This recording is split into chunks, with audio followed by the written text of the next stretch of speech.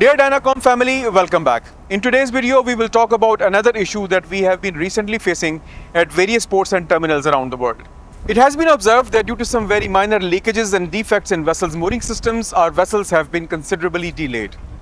This not only causes bad reputation, but this causes monetary losses as well. Mooring system of a vessel are the backbone for the vessel's safe stay at any port or terminal. Any minor leakage to or doubtful appearance of a mooring system is a viable ground for any port or terminal to not berth the vessel until all the issues are properly rectified. Considering all of this, there are preventive measures that we can take in order to avoid any undue hassle, in order to avoid any delays at terminal or berth, or to avoid any monetary losses.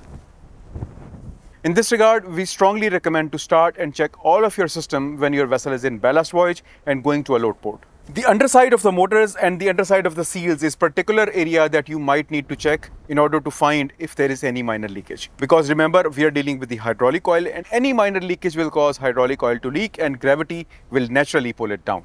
In most of the cases, the majority of these leakages can be easily detected and rectified on board. But in case you need those kind of spares which are not already on board, you can easily raise a spare case and you can receive it at a convenient port when your vessel is going to a load port. For example, if your vessel is going to Middle East, then a convenient port for receiving all these kind of stores and spares would be Fujairah.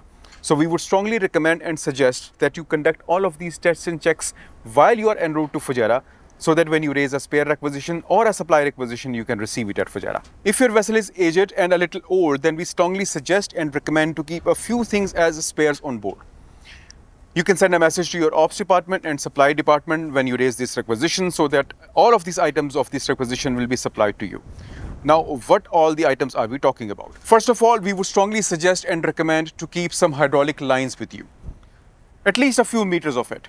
This kind of hydraulic line that you'll have on board with you will help you in case you need it in any sort of emergency or during the routine maintenance. If you have some heavily rusted pipes and U-bolts, it is preferable to change them in advance, especially if you have a long voyage, and you should not wait until a leak occurs during a mooring operations in a port. Talking of rust on hydraulic pipes, please remember that thickness of a hydraulic pipe is much thicker than the normal pipes. So do not hesitate to chip and brush them because they are thicker than the normal pipes and they will not easily leak. However, before removing the old pipes, please ensure that you have the pipes, flanges, bolts and experienced fitters on board before starting the preventive replacement. Because remember, on the old vessels, the unexpected can happen at any time. So you have to be prepared for it in case you need it.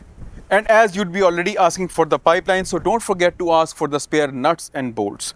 Because in case of an emergency or when you might need to change the line, the bolts might be rusted or old and you might need to cut them. So obviously, you'll need new nuts and bolts when you'd be replacing the line. So don't forget to order them. Furthermore, most of the hydraulic flanges on board your vessel will be either having some sort of packing material or the O-rings. Usually on board our vessels, we have a lot of O-rings on board.